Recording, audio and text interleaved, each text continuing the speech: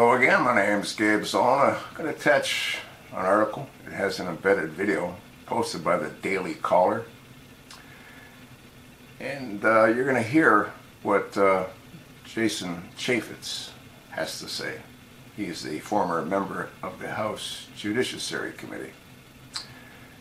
Former Utah Republican Representative Jason Chaffetz blasted Attorney General Jeff Sessions Saturday saying he should leave the Department of Justice. First, I think they have to rename it the Department of Justice.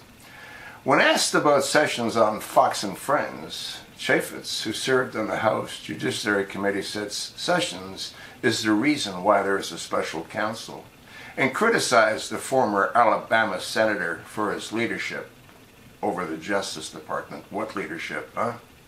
This guy looks like he's afraid of his own shadow. Quote, it pains me to say this a little bit, but I don't think the Attorney General is up to the job he's doing. Really. Chaffetz said, the reason, again, there's a special counsel is because he had to recuse himself from everything. I think it's time for the Attorney General to go. You know, if Trump wouldn't have pulled this worthless bag of crap out of Alabama, Alabama would still be red. Chaffetz also said there should not even be a typical special counsel. Hmm. And praised Inspector General Michael Horowitz, saying he will come up with the most definitive report in the time frame.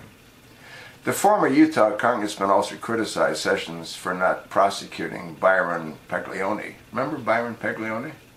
He's the IT technician in charge of Hillary Clinton's email, who did not respond to a congressional subpoena. Well, he's not alone. The previous Attorney General, huh? Remember him? Well, he was held in contempt of Congress because he too didn't respond. Hmm? You know who he is, right? You want to read this, and there's a link related, does Byron Pagliano pleading the fifth mean Hillary is more likely to be deposed in Judicial Watch case? Can a person with this a record go into human resources? Chafin joked. I mean, that's just unbelievable.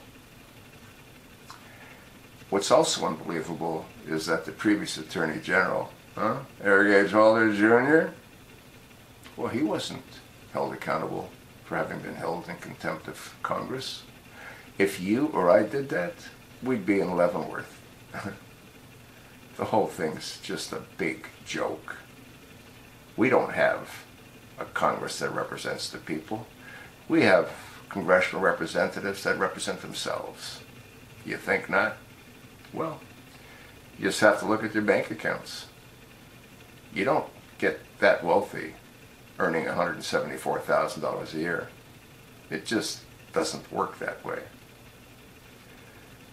watch the video and let me know what you think about this clown that Trump put in as his attorney general. You know what I think?